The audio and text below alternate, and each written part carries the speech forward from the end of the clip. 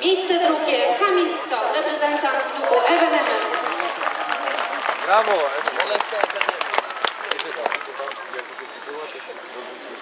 Miejsce pierwsze jest zwycięzca letnich mistrzostw Polski w skokach w dniu dzisiejszym w Piotr Żyła. Klub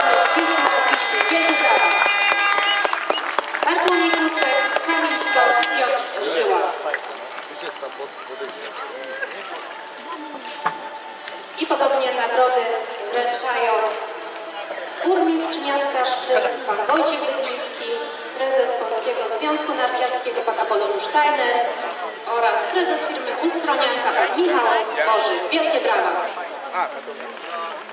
Bartłomiej Kusek, Kamil Stok, Piotr.